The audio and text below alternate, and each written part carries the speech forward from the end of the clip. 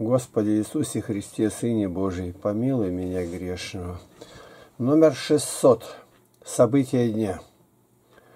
Иоанна, 20 глава, 31 стих. «Сие же написано, дабы вы уверовали, что Иисус есть Христос, Сын Божий, и, веруя, имели жизнь во имя Его».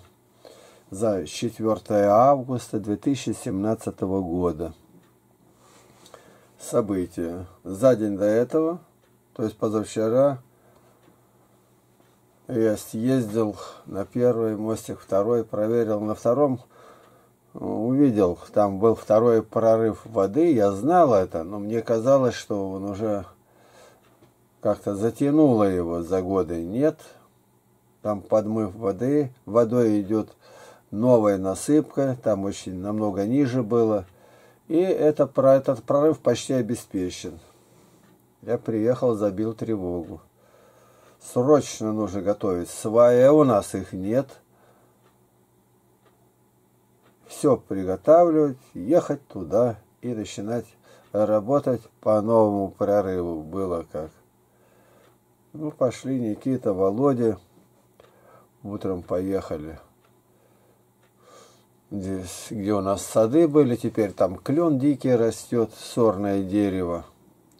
А у Володи не заладилась пила, что с ней там где-то засорилась или что. Игорь дома был, барабаш к нему, тут до конца вроде не открыл ему, как исправить. А Роман где-то в другом месте, там достает огнеупорный кирпич, где-то в покинутом на разъезде здании ну, развалина где-то там на улице, никакого там здания-то нету. Но мы сколько заготовили, надо вывозить хотя бы, раз пилы-то нету. Пила, бензопила. Я к Игорю, Игорь безотказный, на машину и привез нам. И сейчас я не могу сказать, но получилось не менее как полста свай готово.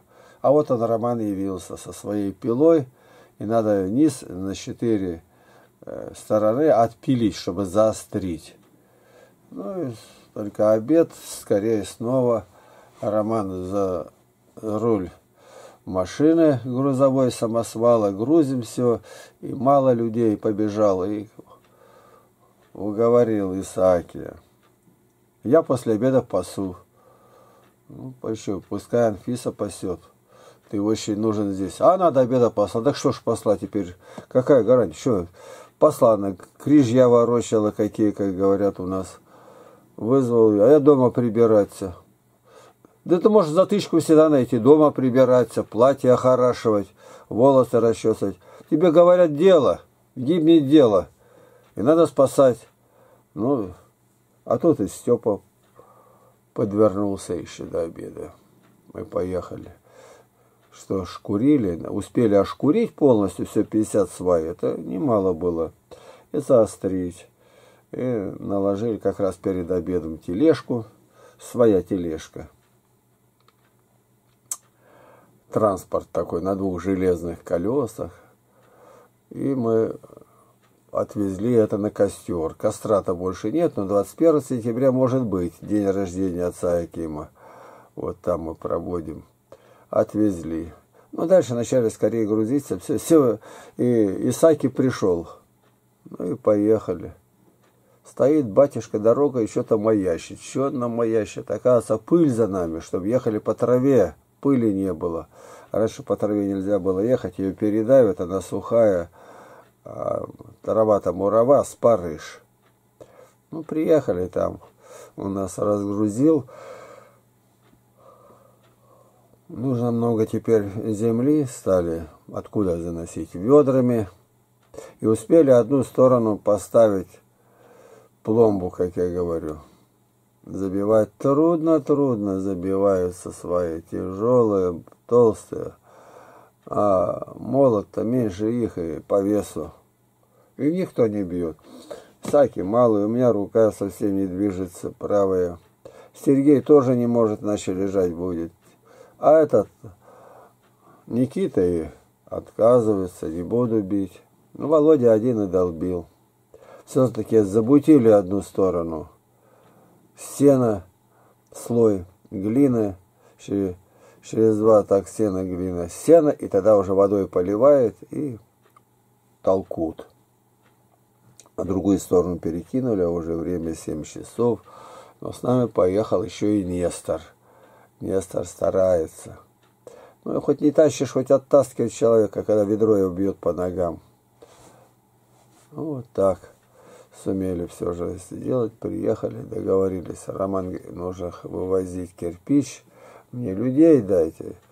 Ну, не может, я один тогда сделаю, вот так не годится. Нам все время помогаешь, ты один. Нам нужно скорее сделать, твой кирпич-то полежит.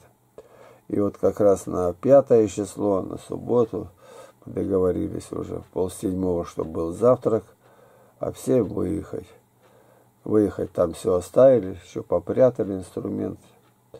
Мы успели там промазать его отработкой. Где... Вот события, целый день. Вот события. О, на десятки раз пропотел. Да и не просыхаем, так сказать. Это хорошо. Есть хлеб в поте лица. И сразу меняется обстановка. Это там закрыли, засаманили. А теперь с другой стороны это надо делать. Большие сваи туда скинули в сторону, на всякий случай, где они будут нужны. Увидели, как к нам приехали купаться. Там, на второй мостик. Вот уже кто-то на помощь не идет по этому месту работать. А приехали купаться, уже купаются. Но это ясно, что не по совести. То есть нам хорошо, что купаетесь, но что они, на помощь они пришли люди-то. Мы стали издалека снимать их, а они тогда, как говорят, переехали или как там, на отрожек, где у нас подъем воды будет. Так мы думаем. Ну, на этом вот и закончились события. Вечером полечили кошку, которую, видимо, порвали собаки, перекусили, и что-то там внутри, кишки-то, может быть, но все еще живая, и все ухаживаем, выдавливают из нее, что там накапливается нехорошее, если вздуть ее. И сметаной мажет, и шарика подводит, а он зализывает. Зализывает, и собачий язык очень целителен. И вот так день прошел. Женщин, я с ними воюю все. Скажешь, сразу не делает. Хлеб придумали хранить в морозильной камере. Ну, такого никогда не видал. Ты. Теперь вытащить он пропадает хлеб. Э, оттаяли его, разрезать и на улице его выставить. А с утра я был на голубятне, утром записал, как голубь начинает завтракать. А потом я шкурил, Володя подошел, мы отдохнули, меня на голубятню слазили. О, я говорю, какое указание это хорошее, я туда скорее. Там помолишься.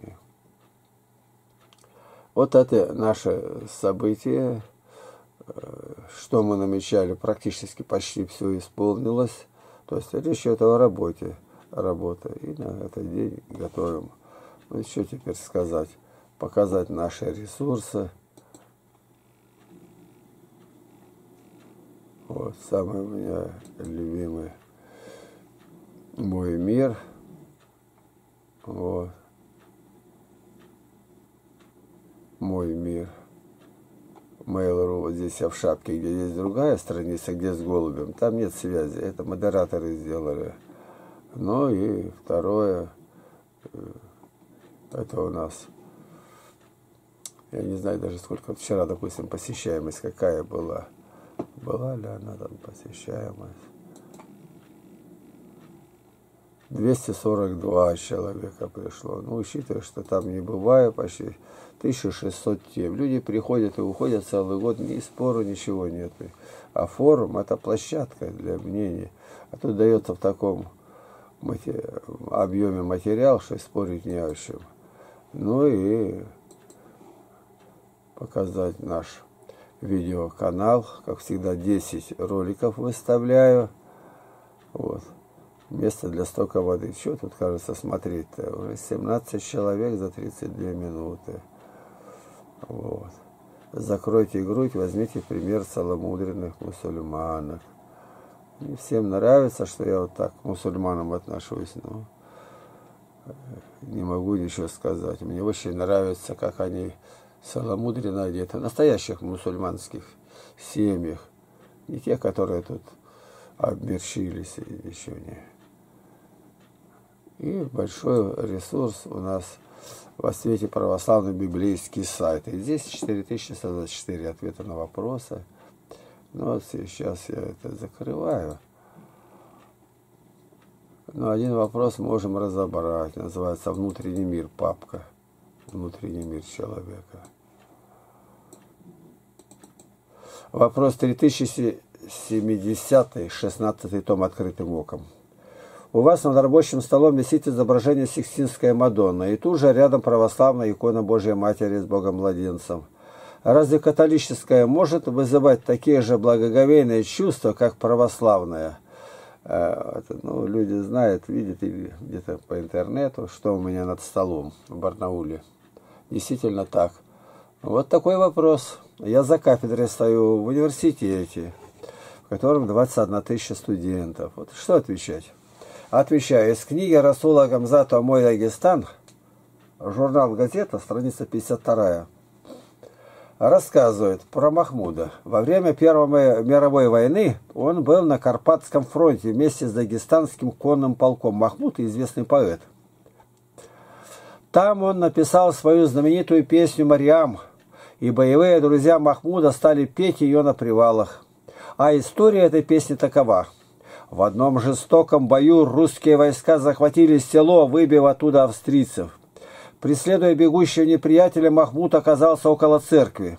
Из церковных дверей выскочил перепуганный австриец, но, увидев свирепого горца на коне, юркнул обратно в церковь. У Махмуда за несколько дней до этого погиб брат, и он жаждал мести. Недолго думая, соскочил он с коня и, обнажив кинжал, бросился вслед за австрийцем, думая, что сейчас изрежет его на куски. Но, вбежав в церковь, Махмуд остолбенел. Прямо перед собой он увидел австрийца, стоящего на коленях и молящегося перед иконой Божьей Матери Марии. В Дагестане и без того не поднимает руки на человека, стоящего на коленях, а тем более на молящегося. Но кроме того, Махмуд был потрясен красотой женщины, которая австриец молился. Кинжал выпал у него из рук. Неизвестно, что потом рассказывал об этой истории австриец, но только свирепый горец тоже упал рядом с ним на колени и стал молиться по-христиански, неумело ударяя себя пальцами в лоб, в плечо и в грудь. Махмуд не видел, когда австриец исчез. Придя в себя, он написал свои знаменитые стихи «Марьям», то есть стихи о Марии. Если бы изображение Матери Божией не действовало на души людей, то для чего бы писатель-коммунист написал это, будучи не христианином? Чтобы понять, что за изображение было на иконе, нужно вспомнить все известные нам картины художников Западной Церкви. Конечно, там было не православное изображение, а западных католических художников. Есть и немало из них прекрасных, но самая прекрасная – Сикстинская Мадонна, наиболее распространенная в западных церквях. Так что весьма предположительно, что это могла быть именно она. И попутно можем задать себе вопрос, если Махмуд жил в России, то он, конечно же, не раз видел различные изображения на иконах. Но почему на него не подействовало ни одно из них так мощно, так неотразимо? О Христе говорится, Псалом 44.3. Это я отвечаю студентам. Ты прекраснее сынов человеческих, благодать излилась из уст твоих, посему благословил тебя Бог навеки. Песнь 5.10. Возлюбленный мой бел и румян, лучше десяти тысяч других. И как часто приходится видеть изображения, которые говорят, что это Христос. И непонятно, с кого мог быть этот образ списан и для чего. Псалом 44, 12. «И возжелает царь красоты твоей, ибо он Господь твой, и ты поклонись ему». То, что у меня есть и православная икона католическая, разве говорит о том, что я унизил Божью Матерь этим? Это я отвечаю повторяю, студентом в Государственном техническом университете города Барнаула. Вот я должен все знать. Если вышел за кафедр, на кафедре, стою, там я 18 лет только вел в одном университете, а в пяти университетах вел занятия.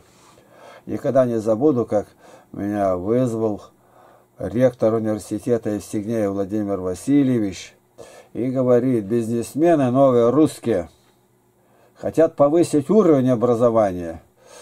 Я говорю, неплохо, что же, а то над ними смеются, во, Ванда, разные там они где.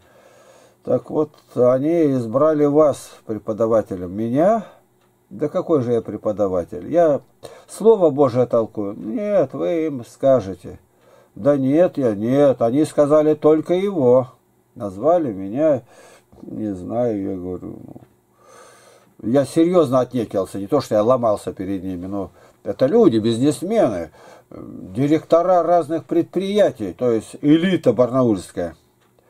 Ну, я подготовился, пошел общий обзор сначала дать. И провел всего только два занятия по паре часов. У них то ли времени не было, дело уже май, или я уже уезжал. Но уже в деревне надо было. Но, кажется, еще и деревня-то не было. И начинали строить. В лагерь детский. Вызывает меня после снова ректор и говорит, деньги получите, сходите. Я говорю, какие? Ну, вы же преподавали. Четыре часа провел я, ну, по паре часов два занятия. Да нет, нет, идите, получите, так нехорошо. Я говорю, да откуда эти средства? Да как откуда? От них? Это не наши деньги, это их. Я пошел, пришел, там такая цифра, я говорю, это не мои деньги. Какие такие деньги-то там накручено? Это, это ваши, ваши, получайте. Я тогда получил или нет, не знаю, но я снова к ректору говорю, а за что это такие деньги? Как за что? Вы занятия вели. Ну, во-первых, у меня нет образования. Как нету? Они сами решили поставки по такой. А какая ставка? Профессор. Да какой же я профессор-то? Смешно даже, правда, когда книги попадают к людям городской администра... краевой администрации Ремнева, вот, Надежда Семеновна или Степановна, она была первый секретарь Ленинского райкома партии КПСС, а потом по э, делам милосердия что-то там. И всегда мне говорили, ну почему вы не защищаетесь? Я говорю, от кого? Ну защищаетесь, кандидатскую там книги-то она моей знакомой была. Да ну, да что там смеяться-то, какая защита? Так они накрутили на профессора, чуть не лауреата Нобелевской премии. Вот это да а потом еще он меня вызывает, и тогда было 17 лет, узнал, что я не получаю, там цифра космическая. За 17 лет преподавания я пошел и потребовали ННН. Я знаю, это не грех и прочее, но раз я много говорил об ННН и против, то и отказался, ушел и не получил, ничего, ни, ни рубля. Я говорю, я не за деньги преподаю. Ночь тиха, пустыня внемлет Богу, Этих слов нельзя забыть вовек. Как в них сказано для сердца много, в них не в них поглубже человек. Знает все живущее творение в этом мире Бога своего, Жаворонок в небе звонким пением прославляет радостно его. Вся природа голову склоняет пред Творцом, Создателем своим, И в ночной тиши ему внимает, слушает его и дышит им. Ты же, человек, венец творения, не желаешь Господу внимать, носишь в сердце гордое презрение, отвергая Божью благодать. Человек, как Божье имя чудно, как оно звучит в людских сердцах. Почему же мне понять так трудно, человек не хочет знать Творца? Научись же у пустыни знойной голосу Спасителя внимать. Перед ним склонись главой покорной, научись его не отвергать. И когда ты выйдешь на дорогу, и темной ночью, а кругом все спит, слушай, как пустыня внемлет Богу, и звезда звездою говорит.